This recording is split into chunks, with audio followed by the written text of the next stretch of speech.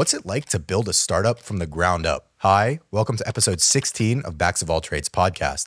Today, I'm with Nader Khalil. He's actually the CEO and co founder of Brev, my new company where I work at. I actually was thinking about having Nader on before I was going to join Brev once I started the podcast.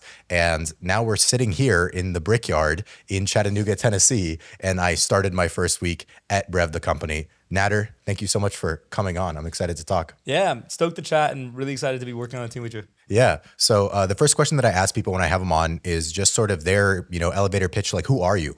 Yeah. Um, so name's Nader, uh, co-founder and CEO of Brev.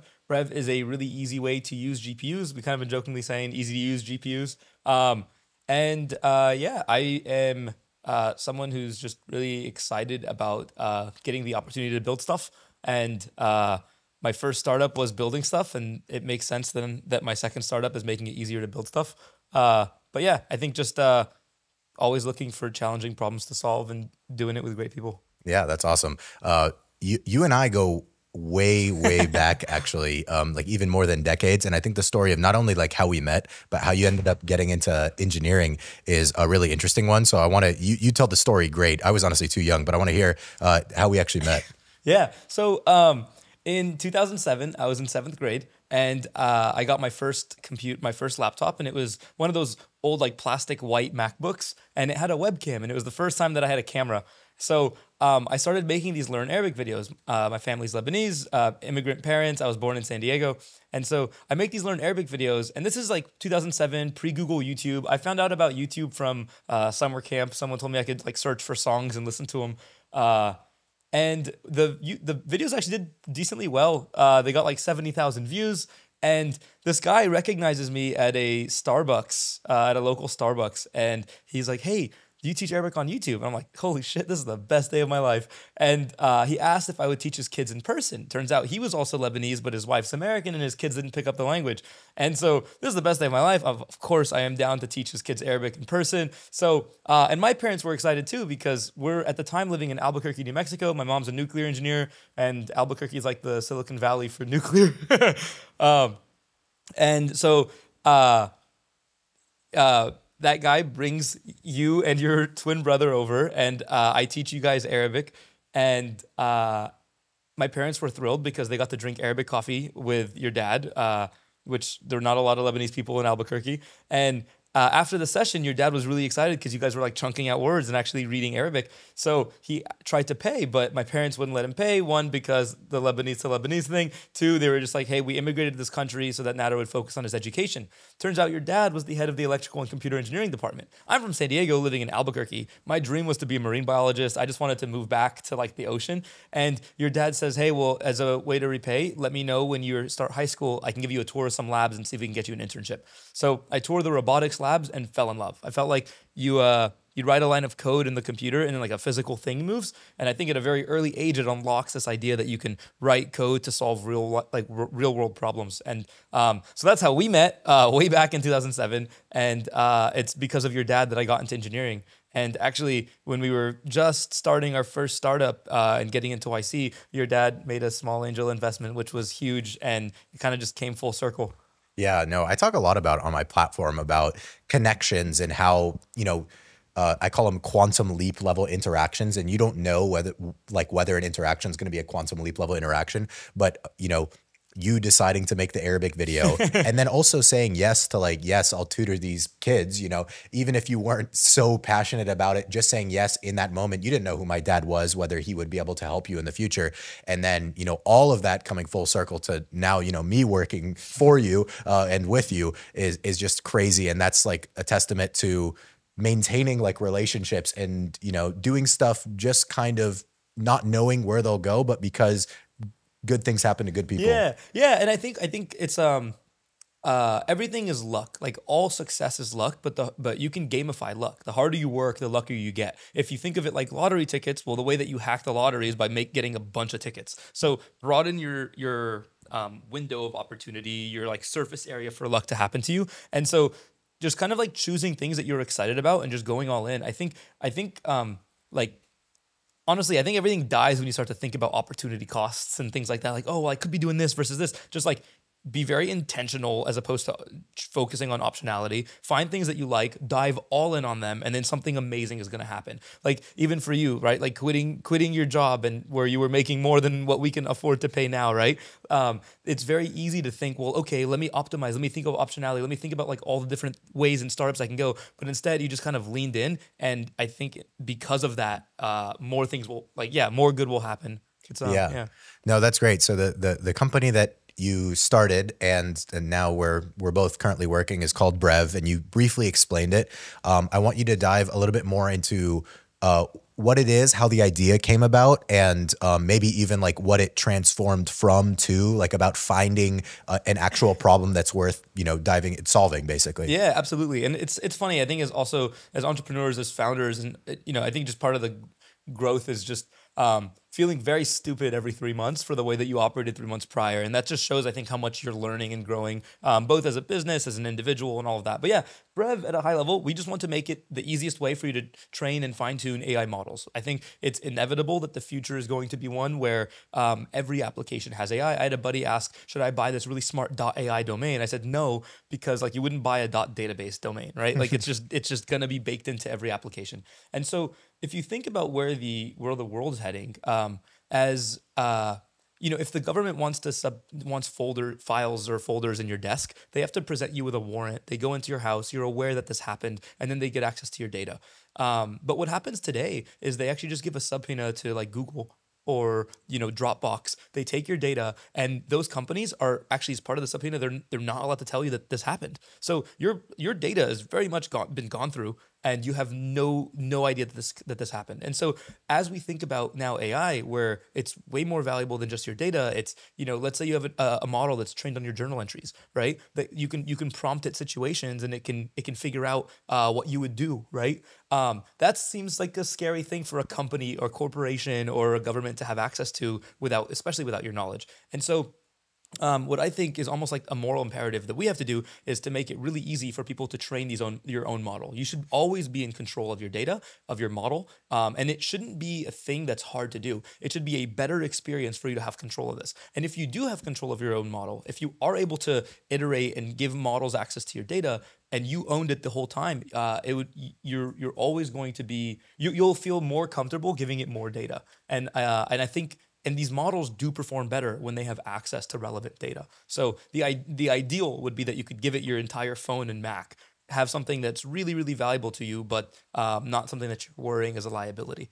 Yeah, um, no, that's great. Um, and this is not what Brev was, you know, a year ago or even two years ago. And so, uh, how did that transformation take place? Yeah. So, um, the the intention when we started Brev, we were building an ad tech startup earlier and um, after that, it kind of felt like every time we were scaling, we were just dealing with a lot of infrastructure issues.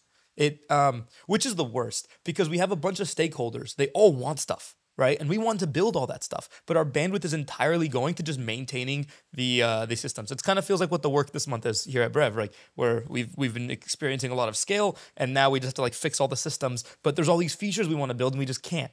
And so that ended up. Uh, it just felt like a terrible rite of passage of having something that's starting to, to succeed. Um, so we built Brev initially to just make it really easy to use cloud infrastructure. And we approached the problem very naively at first. Um, we were just kind of hacking around at a few solutions. We ended up finding ourselves building cloud dev environments, which is the idea that you do all of your coding in the cloud. And um, we were running with that, but we felt that they that cloud dev environments didn't have PMF, and I feel very strongly now that they don't, um, which is a story for another time. But um, while we were building cloud dev environments, we had AI developers ask us, and this is before the AI hype cycle and excitement started. We had these AI developers ask us, "Can you support GPUs?" We didn't really know about GPUs, uh, and we thought, "Sure, let's do it." And um, when we did that, we realized we were solving a big problem for them. For a lot of AI developers, they're focusing on the AI code. They're not coming from infrastructure backgrounds. And for us, having infrastructure expertise, you know, um, I was building cloud dev environments actually at Workday. Alec was doing VM optimizations at Azure. Like we come from infrastructure, from strong infrastructure backgrounds. That actually proves itself really valuable in the AI space as a tool. And so um, that once we once we kind of saw and felt like, oh, we're actually solving a really big problem for these users, we just leaned all in. And yeah. Yeah, no, it's great. I, I joined at a, a really fun time because I think that, yeah, things are a lot of the uh, and there will be more nebulous times in the future, but at, at, least a lot of the big, big ones seems to be more or less um, figured out. There is a vision yeah. um, that we're working towards, and it'll probably pivot again at some point in some fashion. Um, but the hard work uh, you've already gone through, and um, what's interesting is that you you briefly mentioned um, uh, your former ad tech company, um, and uh, for a lot of people, uh, naively, I think when they think about like getting into entrepreneurship or startup, they get so married to not only their first idea but their first company that um, if that were to go south, uh, I think most people would probably be like, "Oh, maybe it's not for me." And so I want to hear about the sort of story of, "Hey, this maybe didn't work out," and um, how you move on from that and say, "No, like I actually want to go build again." Yeah, absolutely. So um, I was. Uh I mean, so my mom was a uh, big inspiration for our family. My uh, my mom uh, did her PhD and she was in school until I was nine. So I actually grew up on UC San Diego's campus where I would just kind of like wander to the bookstore and like eat some Funyuns and whatnot. And so my siblings uh, both uh, have PhDs. I think following my mom's footsteps. I also was applying to PhD programs and I was working in this research lab and Workday my senior year of college comes and recruits me on campus. They flew me to the Bay. I get sent back to SFO in like what was like a limo with like champagne bottle. And I just I get back to UCSB and I think like, man, uh, they uh like my professor would never the research I was doing. So I ended up just like not doing the PhD, even I had just applied and I just went into industry. And the second that happened, I started getting these like anxiety attacks because I think my idea of what I wanted from the world completely shattered. Right. And now I'm just like in SF with no sense of plan or anything. And while I'm at Workday with these anxiety attacks, um, Workday has their own programming language. And so I built a dev tool for I just I had an idea that would make the programming language better. And so I just built it and released it to some folks at the company. And I have no idea about entrepreneurship. I don't know what Y Combinator is. And uh, it was really well received. The senior VP emails it to every developer at the company and says, like, hey, go download NetterSpool. And that felt really good. And then it was just like, oh wait, we can just do this, but on a larger stage. Like it could it could be to more than just Workday developers. Um, and so then uh, I'm working with Alec on just some other projects, and I was getting a beer with a bar owner, and he's venting that he has a thousand clicks on his Google ads, but no one's in this bar other than me and Alec. And so we realize digital ads make a lot of sense for digital businesses. If you click on an Amazon banner ad, you've entered Amazon storefront and you can make a purchase. But if you're if you click on a on an ad for like a, a local bar, what value did that drive them? Like nothing. So we thought, how do we build a digital ad that brings physical value to a physical business? And um, it was like really late one night. Alec finds this hack in the Uber app where we could change your Uber's destination. so we made these ads that would, we, we essentially bought a bunch of tablets from China and uh, it was like DHgate was the website. They come, they're super cheap tablets and we mounted them in, in Ubers and Lyfts. Uh, and this is in 2018. And uh, if you tapped on the ad, we would reroute your Uber to go to that bar. And so you're going out with friends for drinks. You see buy one, get one free margaritas. You tap the screen, we'll take you there. The driver gets a tip. The bar owner knows his ad worked. You get a free drink. Everyone wins. Um, and so we completely bootstrapped. I quit my job, like, or I quit my job actually before, like, essentially almost like the same day the tablets came in. Um, and we just we just bootstrapped it. And um, and then you know your your dad, we had to raise like a small like friends and family around. Your dad was part of that. And then um, uh we got into Y Combinator and you know that was great. We got to like a quarter mil revenue, and the week of our demo day, we were the winter twenty batch for Y Combinator, which is right when the pandemic was happening. We were in San Francisco, which is where the shelter in place was like the strictest and also the first. Um, and so the week of our demo day, our fleet of four hundred cars went to seven, and like literally like, we're going to pitch to investors, and it's just all collapsing. And so um, uh yeah, it was a it was a wild ride. I think as a as a founder, you kind of often have this feeling of like, oh, what would I do when I fail? And um, I guess it's nice to have that answered. Like, oh yeah, you're just gonna kind of do it again. And I think it pays off to just be very lighthearted about things. Like, um, give everything your all, um, and it ends up you end up having more energy to keep going if you do. Yeah, no, that that's insane. I think that um, there's probably that's one of many sort of crazy uh, startup stories that you have, and I, I, I know of a couple other ones. Um, even here at the Brickyard, I've I've talked about this story before uh, of the burn the ships, right? Um, and essentially meaning like give yourself no way out, and uh, you did that a couple times, and so uh, like running out of money and stuff like that. So I want to hear uh, what your sort of scrappiest uh, startup moment is. Yeah. Um, there were there were a few. I uh, so we you know we bootstrapped this right. So we didn't have cash. We were just like barely covering rent and trying to get to revenue. as Really as quickly, because there are people who aren't as technical. Uh, bootstrapping uh, for Mm. a company, what does that mean? It just means you didn't raise venture. You don't have VCs. You don't have venture capital like investments. You, you're not. You don't have a million dollars in the bank to kind of get you through it. You um, whatever money you poured in is what is what's there, and you gotta find a source of revenue very quickly. Um, but yeah, uh, you know, like uh, we needed tablets, and these tablets were expensive, coming from uh, coming from uh, China, and also they didn't have data. They didn't have SIM cards or anything. And so what we actually, for the first hundred drivers, we made them hotspot from their phones.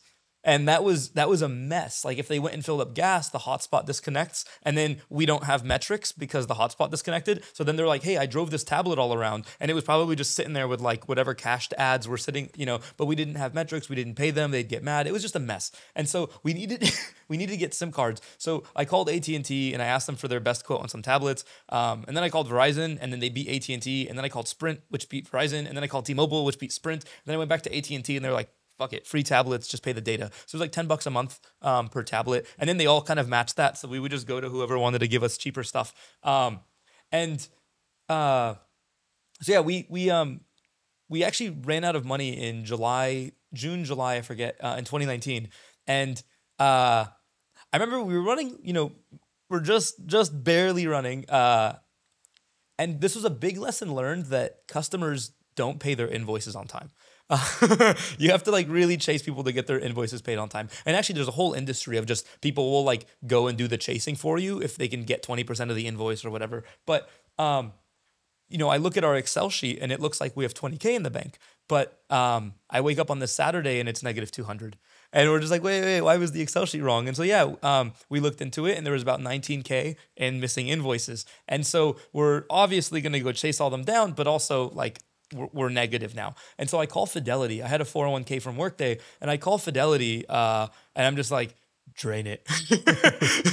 and the guy's like telling me, he's like, you know, this is not a good retirement decision. I'm like, retirement? Like, I'm thinking like like 72 hours into the future. Like we're gonna go chase some invoices, and I have to cover that period. And so yeah, I uh, we dumped the 401k. It bought us time. We got the invoices chased, and then like three months later, we got into YC, and that was you know that was 150k check, which was like more money than we had ever seen. And so this was uh yeah, so that was amazing. But um yeah, I still don't have a 401k, so we're still um so the the ship is still burnt.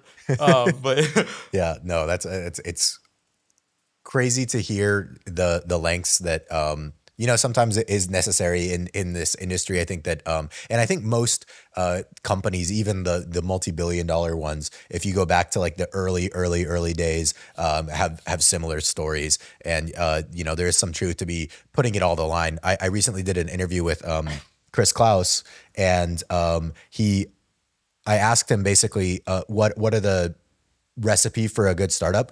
And he said that a lot of people will come to him and ask him for funding while they're still working a 9 to 5 job.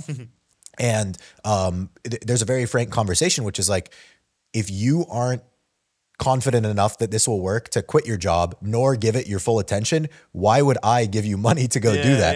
yeah, Um, and so i think that, that there is some you know you have to almost believe in it uh, as much as you believe in yourself. Otherwise, like, why are you doing it? Yeah, and it's it, there's even like um you don't you don't have to have an answer. Like I I'm not confident that like the exact approach we're taking is gonna work. I'm confident that we're gonna find it, and you only find it like opportunity only gives itself to someone in motion. So it's by having a solution, by presenting it, by having users that are frustrated with your shitty product that you're gonna find out what actually is shitty, and you're gonna actually just find that's again like stumbling upon luck, right? Like we didn't know that building making it really easy to use GPUs was a good idea, but we wouldn't have uh, been offered the opportunity if we weren't already building cloud dev environments. I was talking, uh, I pitched actually to Nat Friedman, who is the ex CEO of GitHub, and he had a funny thing where. Um, he mentioned that you know the serverless GPU space, which is, serverless is the concept that if your GPU is sitting idle, it deallocates it so you don't have to pay. But then the consequence of that is um, when you do need it again, you end up having to wait like five minutes for it to spin back up.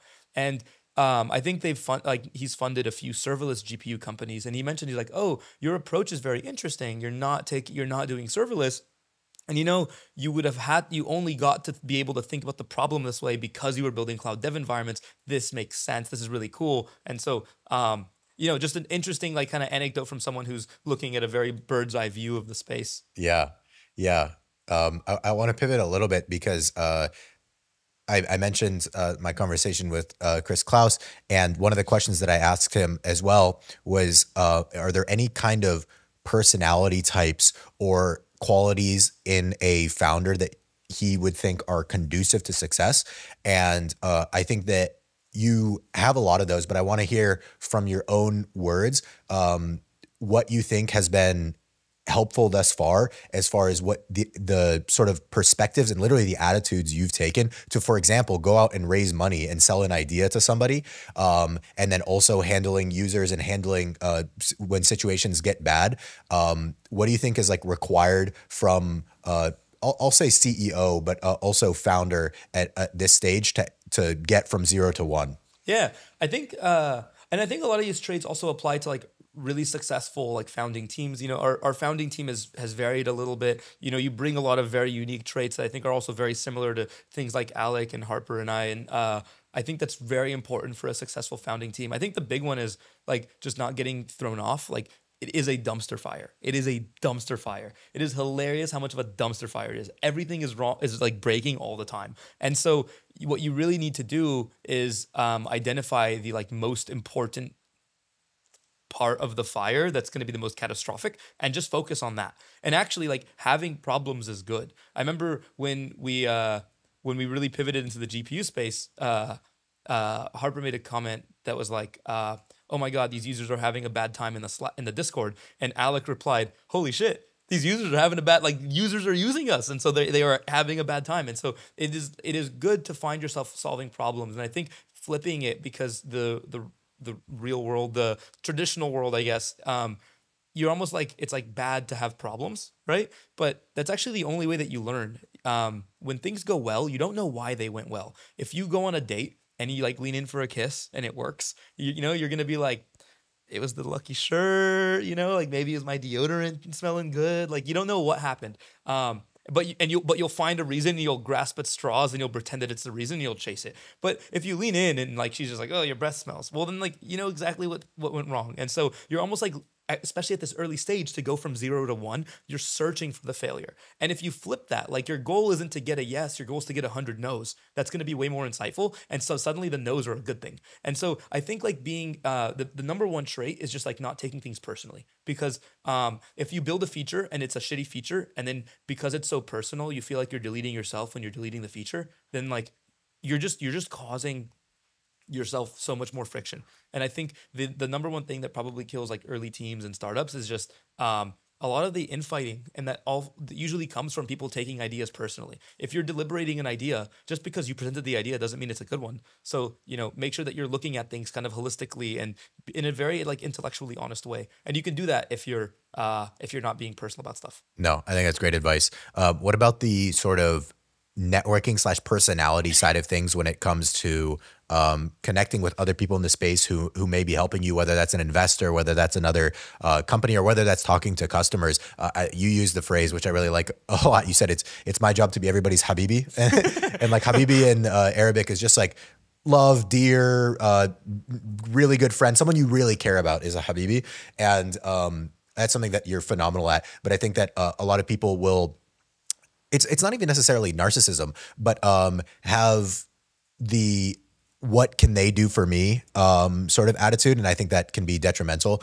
Um, and so, yeah, you, you yeah. know, actually, uh, a lot of times the world is very zero sum. You think of work life balance, meaning if I go to work for eight hours, I have eight hours less to do other stuff. But when what I think like the goal in life is to always find when one plus one equals three. And that happens when you are playing very positive sum games, where if you pour yourself into work, whether it's building the dev tool in my own hours at workday, whether it's this, right? If you pour yourself into what you're doing, um, you you have more to give to other things. Like i think people a lot, a lot of times like especially in the early stage people say like oh you can't date. There's no time to date. Like no i'm in a very fulfilling relationship. I love my fiance. We've been we've been together for eight pushing on nine years this year. And i feel like when i pour myself into her, I have more energy to give to Brev and vice versa. And she's along for the ride. Like I remember very fondly, it was like August 2022 when we are realizing we're going to pivot to GPUs and I I'm like showing her messages from our from the users that hinted us in this direction. I'm explaining to her like even I validated the idea by talking to AI startups at YC, which again this is before the AI hype cycle, so that was actually not like a very noisy filter. You're if you were an AI company in 2022, you were probably like really doing like training a lot of your own stuff. So I validated the GPU problems before we went into the space and built it. And I showed her some of the email responses and she was really excited about it. And like it's it's um the idea that like, you know, I remember um uh, I was I used to think in college like oh like you know I was studied computer engineering which I know you did too and it's like oh like if you're on a date with a girl like you don't want to talk too much about engineering it's kind of nerdy and so it's, it's kind of like no if you can blow that idea away and say hey I'm just gonna I'm like sharing literally e- emails with my fiance and she's excited about it right? It's it's um let find find when everything can be everything and I think yeah Yeah, you you've mentioned blowing up work life balance, and I think that's great because I, I talked about that um, as part of the reason why you know I did quit my previous job, and I actually did enjoy my job, but it was work. Um, you know, my social media thing was separate from that. My social life was separate from that, and I think if you can, um, what I really like that you and I talked about recently is um, burnout and the concept of burnout, and uh, I think a lot of people think that if they do something for an extended period of time, that's what causes burnout. And what you said, which I really liked, is that burnout only happens when what you're the work you're doing is taking away energy rather than giving it to you or is not fulfilling, right? If you're doing fulfilling work, you can work as long as you want without burning out because it's not depleting that sort of like uh, you know life force Yeah, and even like uh, the work itself doesn't have to be fulfilling if the mission is right. There's a lot of times when we're doing stuff that just fucking sucks, like, and you still just have to do it. You have to get through that. But um, if you're uh, um, if if you're if you feel like it's at least the, that the work isn't going unnoticed, if you feel like the work is pushing towards something, then it's really hard to burn out. And even if you're starting to feel those symptoms, just kind of look at like you probably just need to be refilled in some way. Maybe you need like some to be refilled spiritually, or maybe like literally just food and water. Maybe you just need more sleep, and that's fine. Just kind of like allow for the ebbs and flows. You're gonna have weeks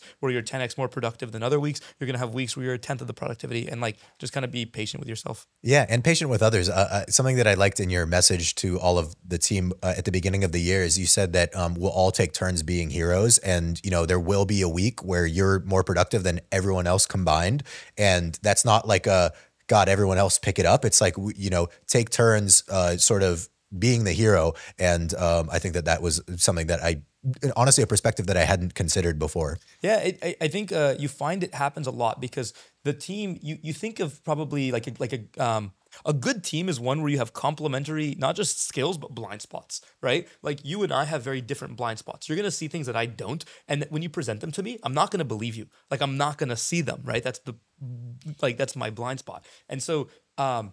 I'll, it, you you just kind of like see it happen more and more where like someone's genius shines because of the different situation and scenario. And so kind of just being very grateful for that for that for that member on the team. And it goes also back to the zero sum idea of just like being everyone's habibi and just kind of really putting a lot of good energy out there just like without thinking how can you help? Because when you start to think like oh how do i get this favor repaid? That's all just like wasted energy right? That doesn't go anywhere. It doesn't take anyone anywhere. So if all the energy of you thinking how you can get repaid could instead just be spent like helping folks like everyone can win. And that's and the same thing goes for the team. If the the energy of like uh why is this person not putting in the same effort as me? Like that's all wasted energy that if could be applied towards the goal is better. And so um it, it's really it's a really great feeling when you when you feel like the team is moving without you being at the helm. And then when you find that the team is moving because you're at the helm you're almost just like fuck yeah i got to pay it back. Yeah, no, that's awesome. Uh, I want to pivot a little bit because um, I don't know if it's just the Lebanese in us, but um, we're very opinionated people, and hopefully, hopefully there is still a chance for humility there. But um, I want to ask you, it's the same question, but one relating to like startups and tech space and entrepreneurship, and then one about life, which is what is a belief that you hold that you think most people would disagree with? Like, what's your hot take? And this is a question I borrowed from my friend Lucas Pachter. Um, he asks this on his podcast, and I really liked it. hmm I should think of that. Uh, what is my hot take? I feel like there's a lot. Um, I think. Hmm, I'm wondering if I want if I want to say this. Um, I. Uh, I feel like optionality is is an insecurity. Um, just like there is no such thing as uh, opportunity cost, and if you just if you just lean in and give your full self to something, um, it'll it'll come back. And now I'm saying that out loud. That kind of feels like a lame hot take. Uh, how about uh, for your tech one? You had you had one on uh, PMF and um, people who are Oh, just yeah. hunting PMF. it's also okay. This is a hot take. I think PMF, like people, I think over engineer it. Um, they're they're PMF, Sorry, PMF is product market fit and is essentially you can explain Yeah, it, but it just means that your product is wanted by the market, that there's a fit in the market for the product that you're building. And um, you, you hear this term be used almost in like a shrine sort of way, like everyone's searching for this PMF. There's companies with millions of dollars, and you'll hear the founder say, like, we still don't have PMF. Even Cam, the partner here at Brickyard, says it was six years into their startup that they found PMF. Um, I, uh, I think people overthink PMF I think it's and like I don't I don't think we have PMF. Um, we, we definitely don't. We're just we have early signs which are which we're which we're definitely sprinting towards. But um, I think PMF is just like a like a mediocre enough solution that kind of that kind of works that people just want to use. And I think um, there's a book called On Trails. It's literally about like how trails are made, and they don't they're not paved. They kind of emerge. And I think the the best PMF is just putting pavement on trails that have emerged. And so look for behavior that people are kind of just like walking through the grass to do, and then just say like, okay, this is probably where we should pave it. You've probably all seen like uh some sort of like uh like architecture design where they like they have like a nice little 90 degree cement and people just kind of walk the grass in between, right? So trails emerge even if there's a paved path. And I think a lot of times what like startups are doing with PMF is they're pa- they're they're putting pavement down and then they're wondering why no one's walking on their pavement. When if you just flip it and say, "Hey, where where are people walking?" and then just go put, put pavement under their feet, um, that's a much better way to go about it. yeah. And then I don't know if you have one about like life in general, whether it's you know Uh, okay, I, I have one. This one will be, I think, spicier for the SF folks. Yeah. But um, I don't believe in in poly. Like people are Ah. uh, people are like poly, which is where they say like they they like to have multiple relationships. Like in college, we call that having a hoe phase. Like you're just single, like, and that's fine. You don't have to make it your identity. Um, the problem with making it your identity is then you find someone who's the one, but you're like, oh. I like them so much that I want to be to just in a relationship with them, but I can't because I'm poly. Like identities can really just hold you back, and so um, uh, yeah, just like enjoy being single if you're single, and, and enjoy being in a relationship if you're in a relationship. That's a good one. I like that.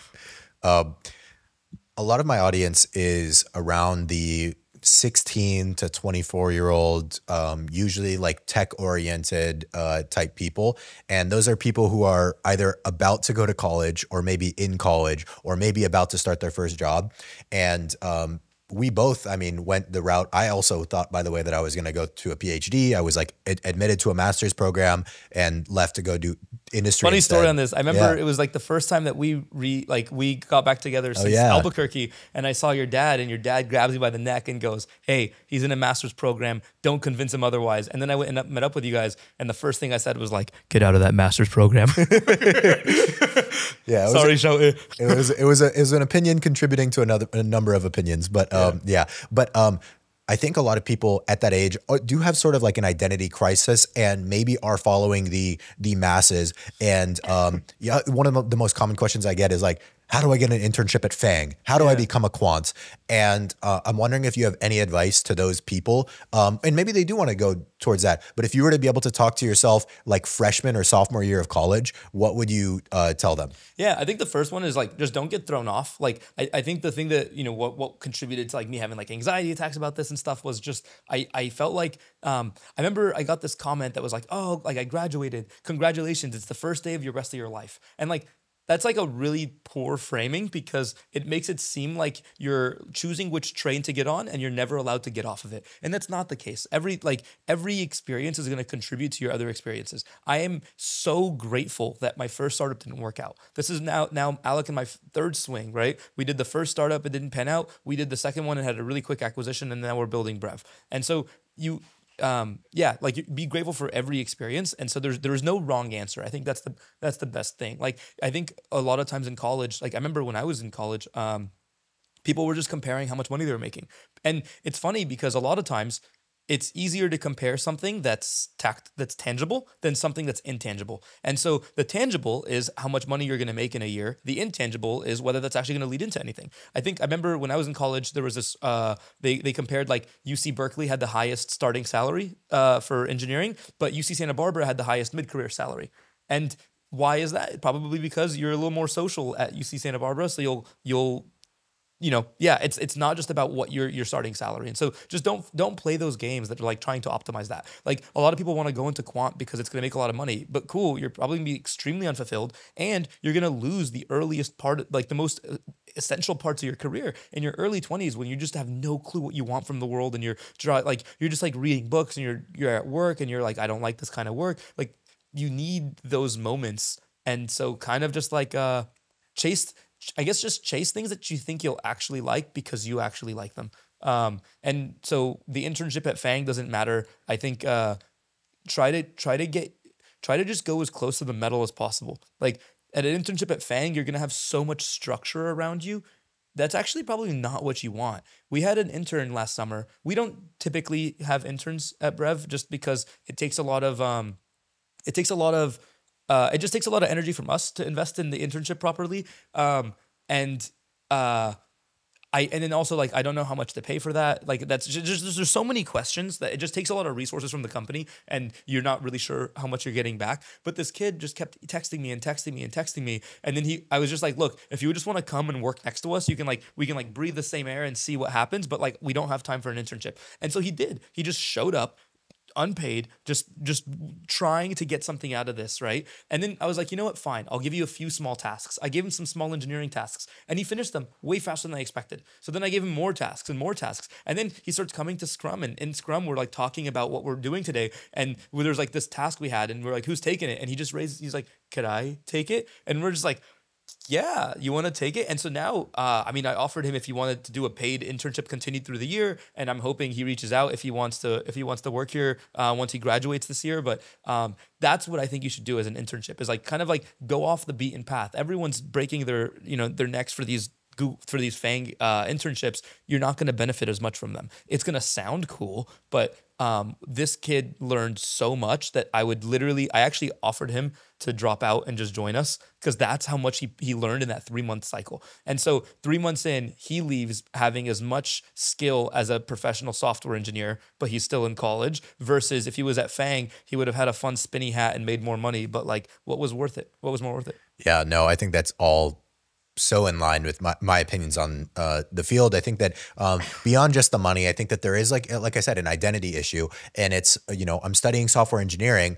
I will be the coolest version of me if I go to a, a Fang company. Uh, that means I I won, I succeeded, whether it is for the salary or whether it is for literally the title alone. Um, and uh, it, when it comes to like, for example, we were having uh, lunch with the the VCs here, and uh, people who have you know exited super like th- these people could retire and sit on their bum all day for the rest of their life. And um, this is true for a lot of people who exit really successful companies. They look for the next thing. Some will start companies again. You know they could be billionaires. They exit and they go i want to start again from zero right? And obviously they have a lot more knowledge but it's because that dollar value is not what actually fulfills you. And a lot of people actually will get into like a post depression or like a depression when they exit. And it's like, okay, now I'm a billionaire, but the thing that I was so passionate about and building for so many years is now gone from my life. There's literally, you could not put a dollar value on waking up every day with fervor to just go and apply yourself. And, um, you know, there's even with my fiance, we were talking because she's in medical school. So she's also pouring her, her hours in. And we used to, you know, and we're in a long distance relationship since she's in medical school and we live in San Francisco. And, um, uh, we used to just call each other at the end of the day and it was just kind of like a very downer of a call because we're both just so exhausted from, from pouring ourselves in all day. And so i was like how are you doing? Tired tired. And so we actually made a rule we're no longer going to say tired we're going to say applied every day you get you get your pockets filled with hours and you lay them down like bricks right and at the end of the day you're not you're not tired, you're out of bricks and you need to go recharge and get more bricks, right? And suddenly being tired is like flipped. It's a positive thing, right? You had a good day because it was applied, but yes, I do have less to apply right now. Yeah, absolutely. Um, if now somebody again in that age is fired up um, and they're you know about to graduate college in college and they say no actually this sounds more like what i want to do um, but they know nothing what would you say is the first step for them of like getting into either startups starting their own um, just finding it a lot of people i get asked like how do i even find startups to work for Yeah. Um, I I think the I think everything kind of like think about just like going against the grain. Like what is the grain? So to apply to a job, you go to the website for the company and you search for the job applications. That's the grain. How do you go against the grain? Well, like what this kid did when he came and joined us for an internship, which became a full-time offer if he wanted to accept it, right? Is um, he just provided value. And I think in the world, like in like in life, you can there's like value, and then there's things that look like, seem like, or think like value, right? And just avoid those. And so, how can you provide value to a company immediately? That's just the number one, right? And and it kind of goes back to the thing earlier, right? Where if you're thinking about opportunity costs, well, what's gonna be the best thing? What's gonna be the best nest leg up for my career? It's all you're like you're you're you're going far from just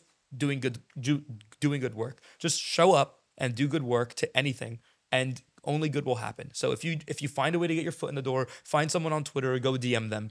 Um, you could even like if you know look at look at a company and just try to think what do you think their biggest problem is right now. We had a sales and marketing intern before as well. Same thing. She just she emailed us and said like if I was to be a sales and marketing intern, this is what I would do for a go to market approach. It was brilliant. She like thought about a big problem we had. She tried to solve it without even working for us, and then it was like okay like let's do this right? And so it's not that like we're anti internship it's just that um it, it's really valuable when someone can kind of go against the grain and and and kind of force their way in. And i think this works for this that that, that advice works for no, no matter who you are where you are. For us as brev for me as the ceo um, we're working on some partnerships with some cool companies right I didn't email and just like tr- or apply for a partnership or anything. I just tried to provide value, right? And without looking for anything in return. And if you just keep doing that, it's always going to pay off. It's so funny because it, it, it applies beyond just tech or anything. Because um, I on my social media, I'll get DMs all the time that'll be like,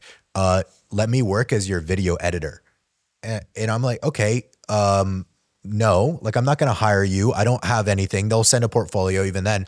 Um, but the ones that I actually look at and the editor that I actually like ended up working with is exactly that. He sent me a strategy. He even gave me like an edited version of my video and just like sent it to me. And I was like, I actually like this guy's work. This is something I would post. And mm-hmm. um, so I think that that extends actually, everywhere. We just got uh, someone just emailed us. Uh, we have like the hiring. Like I have my email essentially. If you want, anyways, someone emailed us and said. Uh, can I work for a few months for free to prove my value? Because he's a junior, who's uh, a junior engineer who's about to, who's about to graduate, and so he's like, I, I'm I'm happy to work for free until I graduate to prove my value. That's amazing, and so that actually just it just completely took the risk out of it for me. Where I'm like, yeah, of course we can try this out, and I think you know if you flip the perspective, I remember you know being in college you're freaking out about like what are you going to do when you graduate? So there's this i like you almost like have to land a job right away but i like what this guy's doing because he's like i'm just going to lean into this and it, it's going to pay off. And even if it doesn't the experience that he's going to have is going to get him something that's going to pay off. So just kind of like fo- like let your future self solve your future problems and yeah yeah. Yeah. I think a lot of people do, uh, they think that they need something tangible for what they're putting in. Otherwise, it wasn't worth it. And I think that, yeah, the experience cannot be understated in literally whatever you're doing. Even if you, you know, try and start a company and then it fails, you have all the lessons from doing that. Yeah. Um, that was actually a big one with Pinot. Like, you know, you kind of worry about, like, I think the fear of, of failing in a startup is that you are where you were at the end, but uh, without the time and the energy that you spent, but you're actually where you are at the end with everything you've collected along the way. And that comes with relationships, like you've mentioned, that comes with uh, the skills and the experience. And so um, that's also why, like, every experience feels that way. Every experience at the end of it, you are there with everything that you've collected. And so the goal, and if you just think about life as just like a basket and you're just putting stuff in it, and like how much can you put in your basket and imagine imagine wanting to put some like blueberries in your basket but you're like oh but i can't do that because what's the next next next thing that i'm going to put in my basket like that's just weird just like one thing at a time yeah um i want to not start wrapping up, but I have a, a, culminating type question, which is it's it's January 2024. Um, we're in Chattanooga, Tennessee, at the Brickyard. This time next year, whatever you're comfortable sharing, what do you see for Brev? What is your your sort of dream scenario of what you want Brev to look like a year from today? Yeah, I mean, our, our goal is that we make it so easy and so secure that we're just the default way for you to be fine tuning or training anything.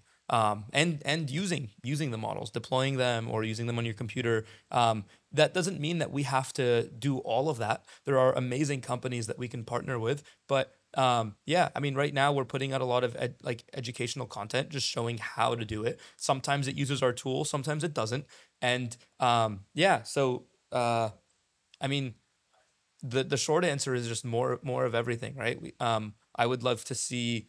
I, I mean, uh, yeah. cool. Um, then, because there are a lot of people, you you mentioned the whole internship thing. Um, for people who are really excited about Brev or the concept of Brev, or they just want to follow along, or they want to work here one day, um, where can people not only find you, find Brev? Wh- where should they go? Yeah, I think um, we're very active on Twitter or X. Um, so my handle's Nader like ladder. Um, our uh, handle BrevDev. We got Baxate Carter. Um, so definitely just reach out to us there. Um, join our Discord. You can message us. Um, I think uh, you know we're we're in the foot of our website. We say we're intensely non-remote. I have a lot of thoughts on that. I just think if you have two startups that you want to bet on, and one of them is remote and one of them is not, put all go all in on the one that's that's not remote. It just becomes easier to transmit information, to learn together, move together, get closer together. Um, so uh, even like a virtual internship is very hard, especially when the premise of an internship is that the person is trying to learn and get gather as much experience. Um, so if someone is in San Francisco uh, and wants to reach out and kind of aligns with everything that we've been saying prior, um, yeah, definitely reach out. Awesome. Um, is there anything else you'd like to either talk about or um, things that we think we missed? Um, no, I think uh, yeah, it's a it's a really exciting experience. It's a really exciting journey. I think uh, not just being like I think founder again goes back to the identity thing. Like it doesn't matter the identity, just like try to build good work, do great work with great people. And honestly, if you can just if you can intellectually honestly approach your work, solve great problems with great people, everything else falls into place. And I don't know why it does, but that's you know future you finds it. Yeah, no, I, I think that's beautifully said. I'm so excited and uh, just I also feel like an immense sense of gratitude to be able to take this opportunity and run with it. Hopefully, I know that I'm I'm very very new, and I hope that uh, I'm so also so stoked that I get to share it with uh, my audience, and I'm excited to continue doing that. Um, that being said, uh, if you're still watching, please make sure to like, subscribe, comment down below. Um, I don't know, are you interested in building a startup? Do you have any ideas for a startup? Comment those down below. And if you're on any podcast platform, give us five stars. Nader, thank you so much for coming yeah, on the show. Of course. And just want to add that too. Um, I'm also very grateful for meeting you many, many years ago, for your father getting me into engineering and on this path, and and to be to have the opportunity to work with you again. I think this is uh, yeah, it's gonna be really fun. Yeah, let's get back to work. It's a Sunday, but we'll be working. Hell yeah.